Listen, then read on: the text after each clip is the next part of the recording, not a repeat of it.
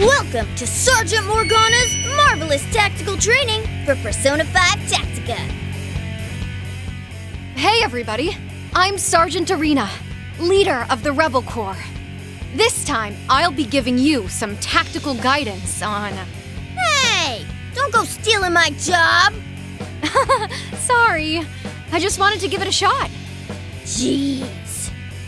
Until you've all learned how to fight like a true Phantom Thief, I can give up my position as Sergeant.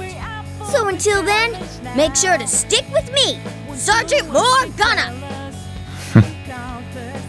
Phantom Thief tip number three Unleash the stylish new all out attack, Triple Threat.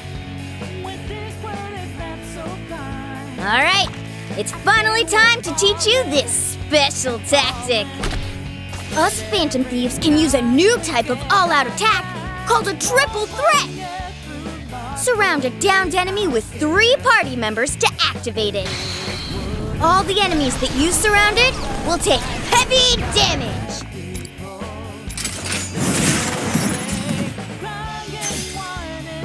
Oh no! Bad news, Sergeant! What's wrong, Erina? I got a one more, but I can't seem to surround the enemy. Don't panic. When that happens, try switching to a different party member. If you have party members who haven't taken an action yet, you can switch to them whenever you want. Use them to surround the downed enemy, and then. All right!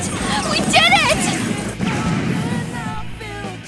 Okay, you two. Looks like you've got a good grasp on how to fight like a phantom thief. Guess that means that now I'll have to kick it up a notch. Please go easy on us. Unleash the stylish new all-out attack, Triple Threat. After you down an enemy, surround them, and then lay on the hurt as a team.